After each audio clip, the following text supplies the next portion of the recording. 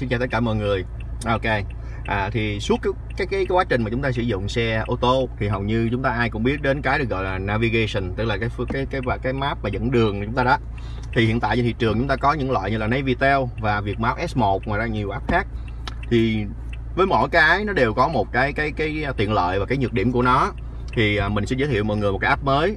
App Waze cũng là một cái navigator khá là chính xác mà mình sử dụng thường xuyên thì mình cũng thông báo trước cái này nó có cái nhược điểm duy nhất của nó là nó sử dụng tiếng Anh nó không có tiếng Việt.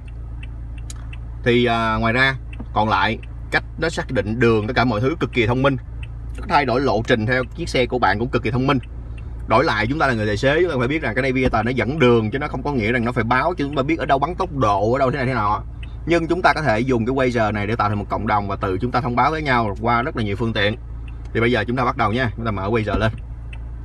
Ok xin chào tất cả mọi người đây là giao diện của Wazer. Khi chúng ta mở lên ha. Nó, kỳ cái Wazer nó yêu cầu là gì? Là chúng ta phải có 4G thì xe các bạn nên cài 4G tại vì thời đại nào rồi chúng ta cũng phải có 4G để biết đúng không?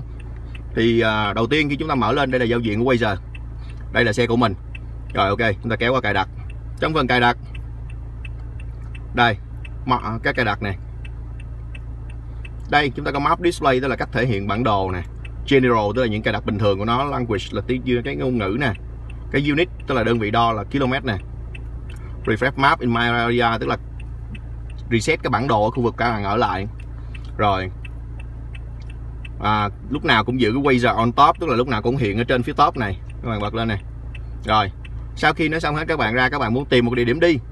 Thì đây là một trong những cái navigation mà mình thấy rằng là họ có cách tìm bản đồ chính xác cực kỳ. Ví dụ như địa điểm của nhà hàng đệ tử của mình đi là nó ở quốc lộ 13 mà đôi khi mình tìm ở trên hàng này Viettel không thấy thì đây nó có ví dụ như à, ở đây. À, đâu rồi? À nó qua bài để rồi.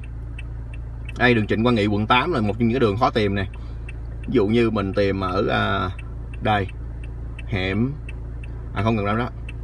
Bấm này 808 nó sẽ hiện lên những cái gợi ý này thấy không? Đây 808 quốc lộ 13 đây là hẻm 808 quốc lộ 13 bạn thấy không? Xác định km luôn nè dù là họ nước ngoài nhưng mà cái navigation của họ cực kỳ chính xác nha. Mình bao cầm căn cáo cực kỳ chính xác không bao giờ sai. Kể cả một mét cũng khó với nó đó. Nếu như các bạn có 4G á thằng này á. Ok mình bấm vô. Giờ mình tìm đây xa quá mình tìm à, đến gần nhà mình đi. À, que tu các bạn bấm vô. Mình chọn home. Là nhà mình. Rồi nó lót nè. Đó. Nghe thấy không? Dự báo 17 phút 10 km đi từ tỉnh lộ 953 Long Châu đến nhà ở số 3 Bạch Đằng thành phố Châu Đốc rồi, các bạn được quyền chọn route. Đó, bây giờ đi nè, nó báo nè. Đi thêm 3 km nữa, quẹo phải quẹo trái. Mình chính xác các bạn, đúng là ba cây số đó là quẹo trái đó, tại vì cái đó không phải cái cua nữa. Nó không phải quẹo trái, nó chỉ là cái đường ôm theo cái đường thôi. Nhưng mà nó báo là phải quẹo trái thì đến đúng 3 km nữa sẽ quẹo trái, tại vì mình trải nghiệm thằng này lâu rồi. Thì thằng này nó có cái lợi thứ hai là gì đối với các bạn ở Sài Gòn? Thì đây, khi các bạn thấy cái dấu cam nè bạn bấm vô. Đây khi mà các bạn đi trên đường, các bạn gặp kẹt xe, các bạn cần chia sẻ, thì cái cái cái major, cái wazer này cho phép các bạn vào chọn traffic là đây là giao thông nè. Nếu như kẹt xe các bạn chọn nhẹ nặng gì, các bạn để báo cho những người cùng sử dụng cái app này để biết. Thì cái waze nó cố, nó muốn tạo ra một cái cộng đồng là gì? Đây là đụng xe nè, chat trên map nè, cái place nè, cái tọa độ nè. Các bạn chia sẻ để tăng thêm tính chính xác cho tọa độ. Ở đâu có cảnh sát các bạn được quyền nè, các bạn để lên nè. Ở đâu có nguy hiểm, các bạn có quyền tác vô nè. Đó đâu có sửa chữa đường có luôn, phải không? Các bạn thấy hay không? Tức là gì? Khi bạn đi trên đường, các bạn gặp một thứ gì đó như cảnh sát, một thứ gì, các bạn đều có thể tác vào và cái người sử dụng bây giờ mà đi gần đó, họ cũng sẽ thấy được thứ này. Nó không phạm luật nha các bạn, cái này là một cộng đồng chúng ta chia sẻ bằng một cái app. Thì các bạn có có quyền chat với cả những cái người trên map nè, nhưng mà các bạn phải đăng ký, ha? Mình chưa đăng ký.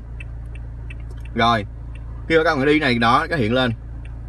Các bạn này chọn vô địa điểm add stop nè các bạn chọn thêm cái địa điểm thứ hai các bạn đi, tức là trên cái lộ trình các bạn đi được chọn nhiều chỗ ha.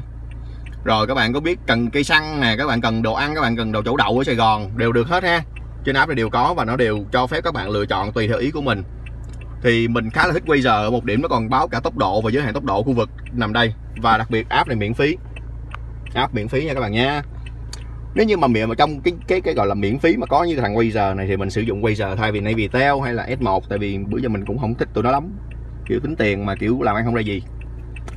Thì đối với Waze điều gì các bạn cần đó là một cái dữ liệu bố, cái cái cái 4 giờ lúc nào phải có 4 giờ cho nó và nó dự đoán cực kỳ chính xác về tọa độ của các bạn thông qua GPS và cả 4 giờ còn lại, mình chưa thấy nhược điểm nào tìm theo. Tiếp theo, trừ cái chuyện là xa tiếng Anh. Cảm ơn mọi người đã lắng nghe mình và chia sẻ. Hãy cố gắng tạo ra một cộng đồng quay giờ thật tốt nha. Chúng ta có thể chia sẻ rất nhiều thứ bằng quay giờ nếu như mình cần đây, muốn thích chọn, mình báo ở đây là đang bị ờ, để gì ở đây có nguy hiểm đi, hazard. Ok, nguy hiểm trên đường, nguy hiểm cạnh đường hay là do thời tiết? Mình sẽ chọn ở đây do thời tiết. Thời tiết nó sẽ hiện lên này. Đây, bấm vô thời tiết nè. Mưa, tuyết trơn à, nước trơn trợt hay là ai băng thế này hay là gì đó, tùy mình chọn. Ok, mình sẽ chọn mưa ờ, ở phốt bấm sen. Đây, các bạn coi, nó sẽ hiện lên. Đây, cái đường này nguy hiểm. Này, nó cảm ơn các bạn đã chia sẻ nè. Thấy không? Mọi thứ chúng ta đều có thể chia sẻ với nhau. Chỉ cần chúng ta chia sẻ một cách lạc quan và đàng hoàng với nhau, không mang ý nghĩa vụ lợi. Còn lại, cảm ơn mọi người đã theo dõi. Như các bạn hãy sử dụng quay giờ đi. Nó cực sự tốt ấy, không đùa đâu. Cảm ơn mọi người.